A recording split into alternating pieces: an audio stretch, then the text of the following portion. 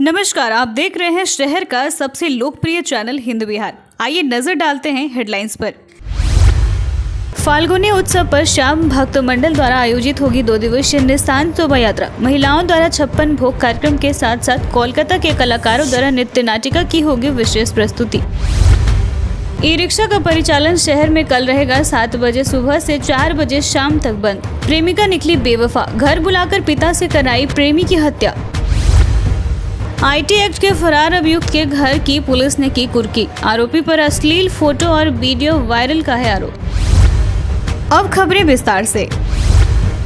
मंदिरोजा खाटू श्याम मंदिर भवन में भागलपुर में श्री श्याम भक्त मंडल एवं श्री श्याम भक्त मंडल न्यास के संयुक्त तत्वाधान में तीन मार्च से चार मार्च को फाल्गुनी उत्सव 2023 का आयोजन किया जा रहा है। वहीं तीन मार्च को प्रातः निशान शोभा यात्रा से कार्यक्रम की शुरुआत होगी। उसके बाद भागलपुर के भक्तों द्वारा निशान समर्पण नवगछा के भक्तों के द्वारा निशान समर्पण, गोड्डा के भक्तों के द्वारा निशान समर्पण का कार्यक्रम किया जाएगा। वही संध्या कालीन आरती की भी प्रस्तुति होगी। वही चार मार्च को महिला भक्तों द्वारा छप्पन भोग का विशेष कार्यक्रम समामनी भंडारा प्रसाद का कार्यक्रम और कोलकाता से आए कलाकारों द्वारा भाव नृत्य नाटिका का कार्यक्रम रखा गया है। वहीं इसको लेकर आज एक प्रेस कॉन्फ्रेंस का आयोजन किया गया, जिसमें प्रबंध न्यासी प्रभात केजरीवाल, अध्यक्ष रोहित झुंझुनवाला, महासचिव सुरेश कुमार मेहता, संयोजक नीलेष कोठीवाल, कपिल जैन, बालकृष्ण, इंडिया किशन गोयल का के अलावे दर्जनों कार्यकर्ता मौजूद थे। हमारे श्याम भक्त मंडल में भागनोत्सव मनाया जा रहा है।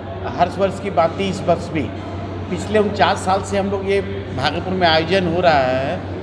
तीन मार्च को और चार मार्च को हमारे द्वारा ये भागनोत्सव मनाया जाएगा। तीन मार्च को गौशाला के प्रांगण से भागलपुर समाज की सभी हमारी महिला भक्त, पुरुष भक्त, बच्चे, करीब दो इक्कीस सौ दो हज़ार इक्कीस सौ के लगभग में निशान उठेंगे। और वो निशान पूरे भागलपुर की परिक्रमा करते हुए दिन में 11 बजे खाटू श्री श्याम मंदिर में भगवान को अर्पण होंगे भागलपुर के मुजाहिदपुर थाना के सामने पुलिस पदाधिकारियों के द्वारा ई रिक्शा चालक गौतम की पिटाई और उसके हाथ तोड़े जाने के बाद ई रिक्शा चालक संघ के द्वारा कल पूरे भागलपुर में ई रिक्शा चक्का जाम किया जा रहा है। पूरे शहर में आज माइकिंग करते हुए ई रिक्शा संघ के अध्यक्ष विशाल कुमार ने खुद ई रिक्शा चालकों से अनुरोध करते हुए कहा कल पूरे भागलपुर में सुबह सात बजे से संध्या चार बजे तक ई रिक्शा का परिचालन बंद किया जाएगा। वहीं उन्होंने कहा कि गलत तरीके से ई रिक्शा चालकों पर पुलिस या कार्रवाई की गई है। भागलपुर के कजरैली थाना अंतर्गत एक फरवरी को दिन के 11 बजे सूचना मिली कि ग्राम बहादुरपुर स्थित ममोदा नदी किनारे एक युवक का शव पड़ा है। जिसका निर्मम तरीके से हत्या कर दी गई है। घटना की गंभीरता को देखते हुए वरीय पुलिस अधीक्षक आनंद कुमार के निर्देश पर पुलिस अधीक्षक विधि व्यवस्था निगरानी के विधि व्यवस्था के निगरानी में एक स्पेशल टीम का गठन कर कांड का सफल उद्भेदन एवं गिरफ्तारी हेतु तो निर्देशित किया गया। इसी क्रम में एफएसएल टीम एवं डॉग स्क्वाड की टीम घटनास्थल पर पहुंचकर सूक्ष्मता से जाँच किए, साथ ही वैज्ञानिक अनुसंधान करते हुए विशेष पुलिस टीम द्वारा पुलिस द्वारा त्वरित कार्रवाई करते हुए दो व्यक्ति को गिरफ़्तार किया गया। एवं अभियुक्त मनोज सिंह के निशानदेही पर घटना में प्रयुक्त हथियार गड़ासा को भी बरामद किया गया। हत्या का कारण प्रेम प्रसंग होना बताया गया है। मृतक अभिषेक कुमार का अभियुक्त मनोज सिंह की बेटी गुड़िया कुमारी का करीब तीन से चार वर्षों से प्रेम प्रसंग चल रहा था, जिसका विरोध गुड़िया के परिजन कर रहे थे। इसी क्रम में गुड़िया कुमारी ने अभिषेक को अपने घर पर बुलाया, जिसके बाद अभियुक्त मनोज सिंह अपने घर में अभिषेक कुमार को हाथ एवं मुँह बांधकर बहादुरपुर स्थित ममोदा नदी के किनारे गड़ासा से गला रेत कर हत्या कर दी। इस कांड में दो लोगों की गिरफ्तारी की गई है, जिसमें पुलिस ने मनोज सिंह और गुड़िया कुमारी को गिरफ़्तार किया है। साथ ही वारदात में उपयोग होने वाले हथियार के रूप में गड़ासा को भी बरामद किया है।